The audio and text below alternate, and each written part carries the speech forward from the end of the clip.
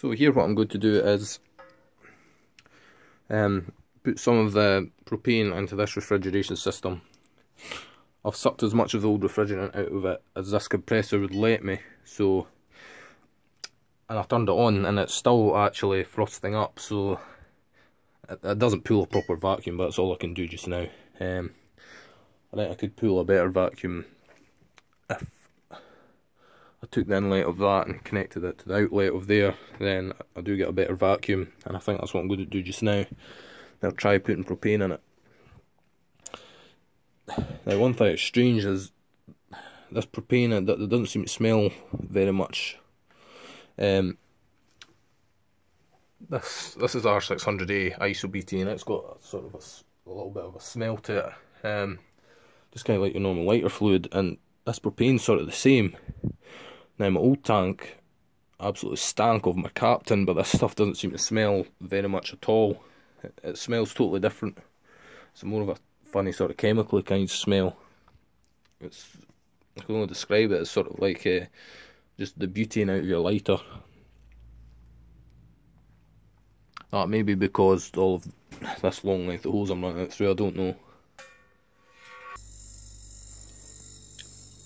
So that is now with two compressors connected together. Um, well, one of them's running, but I'm just going to bring this compressor here online. And once I do that, the flow should increase. I'll give a good kick there.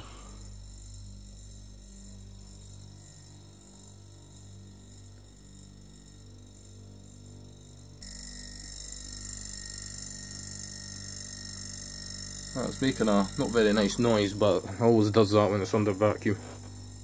That's both of them running.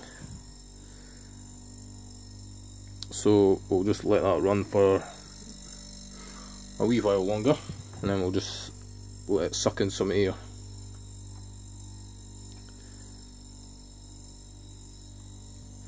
Get all that refrigerant purged out. So there we go. So now I've vacuumed it out as much as I can.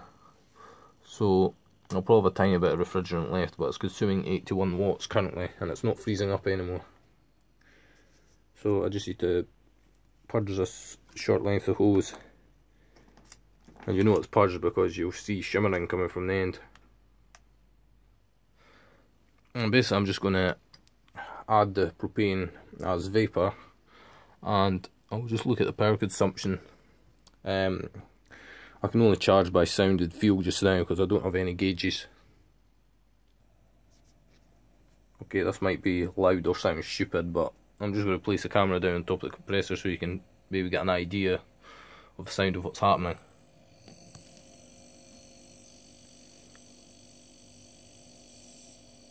This is just me adding the refrigerant, so that's what the hissing will be.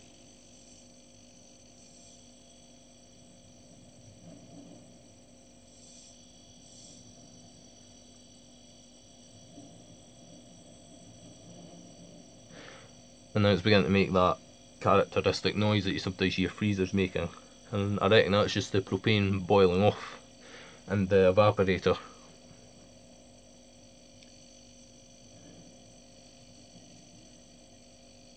Now the the discharge pressures on this will be higher um, because this is propane we're dealing with. And the power consumption is a bit higher as well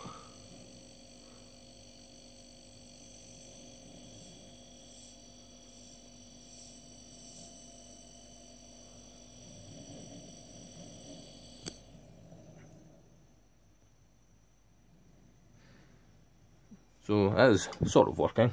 I don't know if it's as good as R600. It probably won't be because the compressor's not designed to run on propane. And the only R290 compressor I could find was a variable speed one on eBay and I didn't have the controller with it. And the other ones I could find were rather expensive. I think you could use an R404 compressor for it as well. So I reckon running the propane, I don't think it's going to, in this setup, move any more heat, it's probably just going to be much colder.